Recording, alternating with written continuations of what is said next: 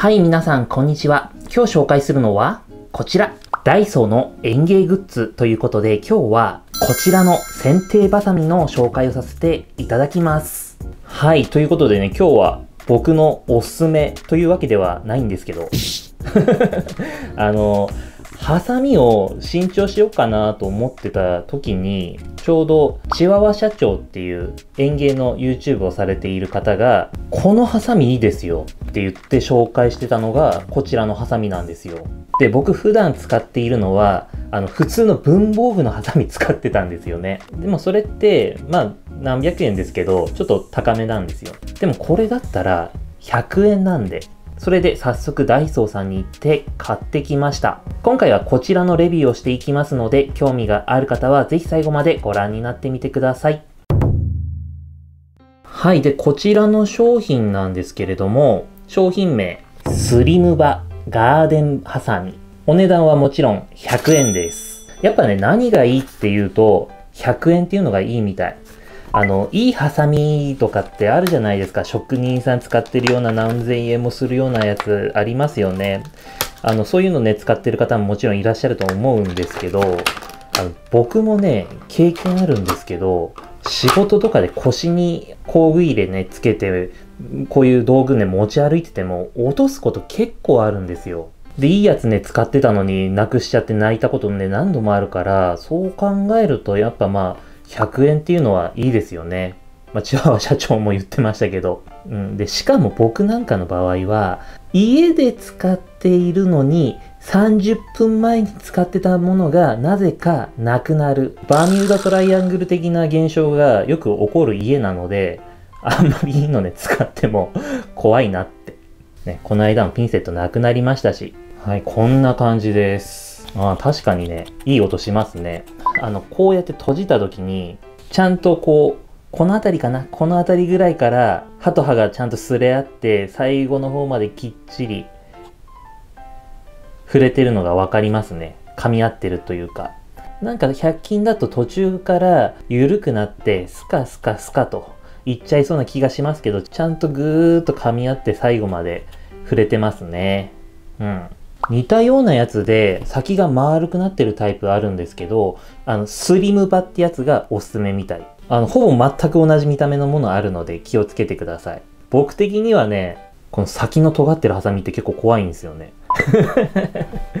なんでなんだろう。ナイフとかね、千枚通しとかそういう尖ったものは平気なんですけど、ハサミのね、尖ってるのは怖いんですよ。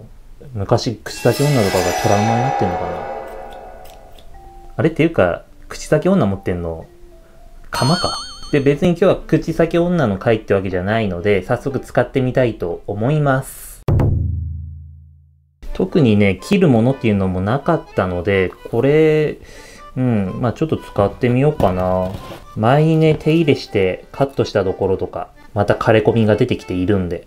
切ってもね、大して枯れが目立たないのもあれば、やっぱね、進んでくるのもあったりしますよね。この手のやつで、やっぱり心配なのは、この先端の切れ味ですよね。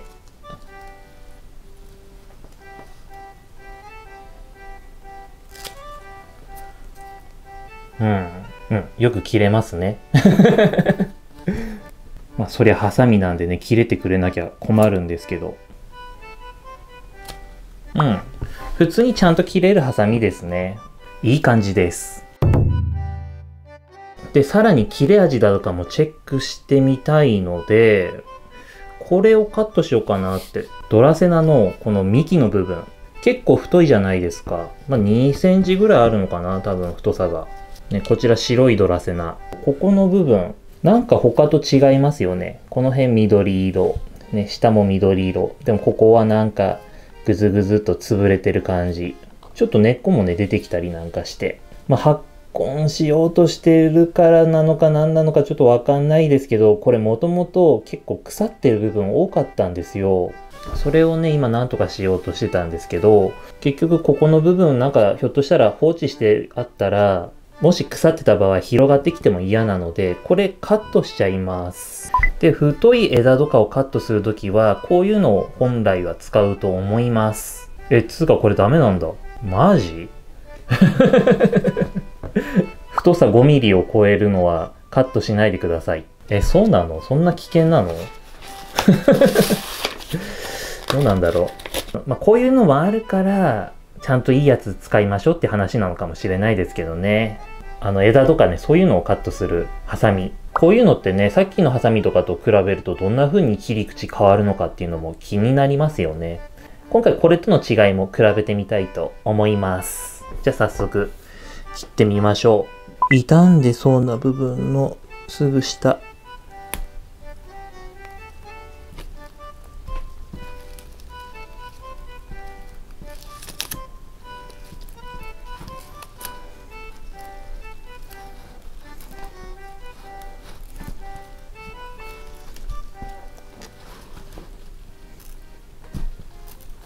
あ、これ切れないわ。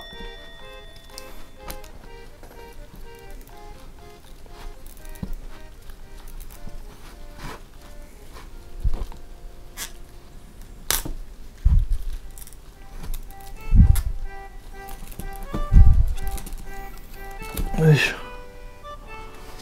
うわ、全然ダメ。5ミリ以上カットしないでくださいっていうのもね、うなずけるぐらい全然切れないですね。じゃあこっちのハサミでね、切れるかやってみたいと思います。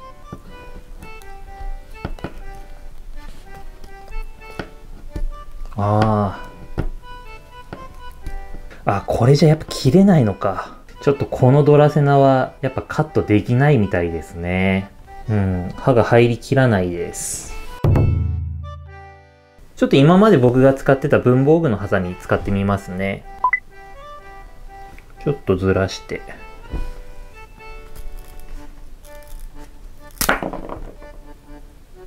うん。切れちゃった いや。いや、切れちゃったっていうか、前の作業の時も確かこれで切ってたような気するんで、まあ、そう、切れるんですよ。まあ、断面はね、多少こうやって潰れちゃうんですけどね。あの、これは100円じゃないですよ。ただ文房具コーナー行ったら、売ってるハサミです。ね。やっぱ葉っぱ切る用なんすね。葉っぱの調整とかするんだったら、やっぱ100円だからね、この辺はいいかなと思うんですけど、太いやつまでね、切りたいっていう風になったら、うん。これかな。だからもうしばらくこれがうちでは役に立ってくれそう。まあ、何回も言いますけど、葉っぱ切る分には全く問題なかったですからね。しかもあの、葉っぱ切るためのものですっていうことで紹介してたんで、あの、僕がたまたまこうやって余計なことしようとしただけですからね。はい。あの、これが不良品だとかそういうわけではないです。そもそも太い枝とかを切らないでくださいって書いてあるものなので、まあどうしても普通のハサミだとね、潰れちゃうんで先端きれいにします。僕ね、ダイソーさん行ったらカッターはこれ使います。この金色のやつ。チタンコーティング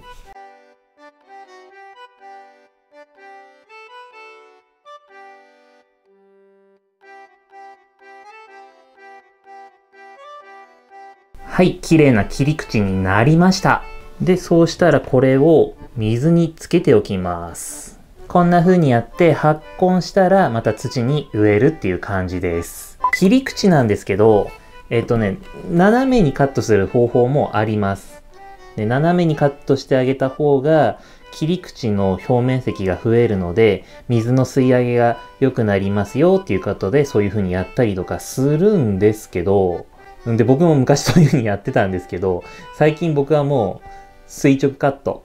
表面増えるっていうのは、確かに水も吸うんですけど、別に水につけとくんだったら、表面積増やさなくても、水を十分に吸いますし、なんだったら傷口が広がって、そこが傷んでくるっていうリスクの方が、僕は避けたいんですよ。あの、斜めにカットするのがダメって言ってるわけじゃないですからね。ただ結局斜めにカットするとその傷口増えるっていうのもあるしもしなんか失敗してカビが生えちゃったよっていう時にもう一回切りに戻したいなと思った時に斜めの方が失う幅が多くなりやすいんでそういう点で、うん、僕は最近この垂直カットにしてます。そうそこに当たった部分も傷みづらいですしね。これダメかなって言ってたとこどうなってんだろう。カッターの方が分かりやすかった。大丈夫そうだなって言ってたところの、この、この外側の層の部分、ここは緑色で、ダメかなって言って、なんか、色変わってるよって言ってたところは茶色くなってますね。まあ、腐ってるっていうわけではないのかなと思うんですけど、まあ別に切らなくてもなんてことなかったかもしれないですね。じゃあ、この最初の5ミリ以上のものを切らないでくださいって やつでカットしたぐちゃぐちゃになっちゃった切り口は整えてあります。はい、こんな感じで綺麗に整えました。まあ、ドラセナの場合そのままね、乾かしてあげてもいいですし、心配でしたら融合剤っていう殺菌剤とかね、塗ってあげてもいいんですけど、あの、知らない方もいるかもしれないので、一応紹介しておくと、アロンアルファ。アロンアルファ植物に使えますよ。もっとね、繊細な傷口放置しておくと腐る確率が高いですとかね、そういう植物なんかには使うんですよ。使うんですよっていうか使ってる方多いんですけど、アグラオネマとか。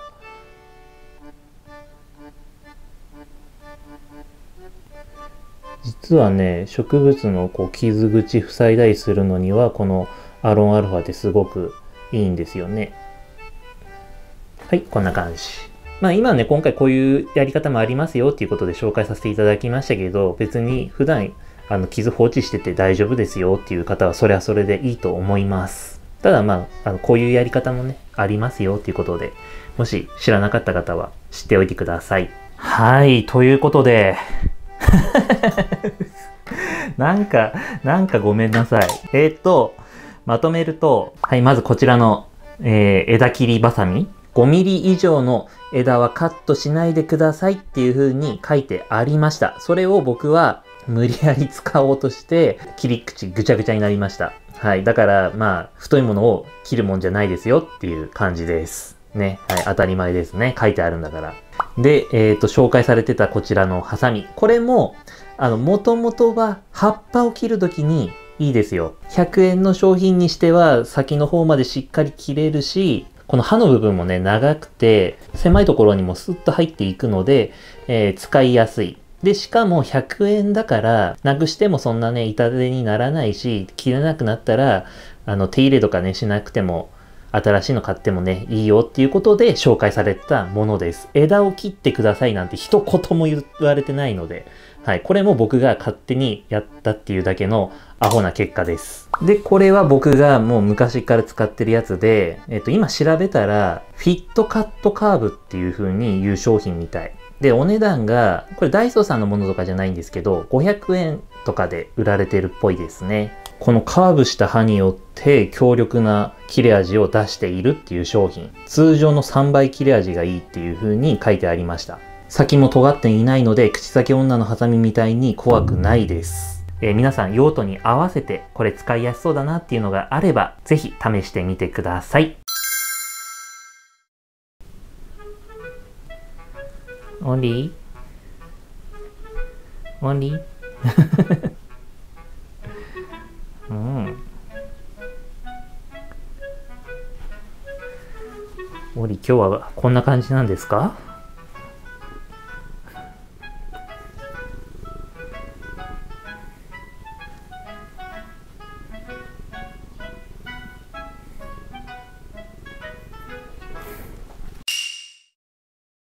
はい、ということで今日紹介させていただいたのはこちら。ダイソーのハサミということで、えー、お蔵入りにしようかと思うぐらい下手くそなレビューになってしまったんですけど、あの、購入するときに少しでも皆さんのお役に立てれば嬉しいなと思います。今後も色々な園芸の情報を発信していきますので、面白いな役に立ったなという方は、高評価とチャンネル登録よろしくお願いいたします。